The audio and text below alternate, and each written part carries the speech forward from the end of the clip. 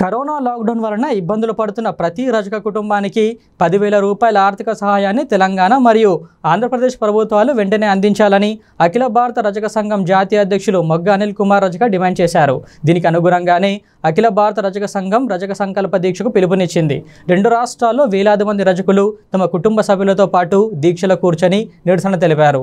మొగ్గ అనిల్ కుమార్ రజక హైదరాబాద్ కేంద్ర కార్యాలయంలో రజక సంకల్ప దీక్షలో కూర్చున్నారు. ఈ సందర్భంగా అనిల్ కుమార్ మాట్లాడుతూ లాక్డౌన్ వలన రజకులు తీవ్ర ఇబ్బందులకు గురవుతున్నారన్నారు. కుల వృత్తిని చేసుకునే రజకులు పూట గడవక ఇబ్బంది పడుతున్నారని అటువంటి రజకులకు పదివేల రూపాయల ఆర్థిక సాయం అందజేసి ఆదుకోవాలని తెలుగు రాష్ట్రాల ముఖ్యమంత్రులకు ఆయన లేఖ రాశారు.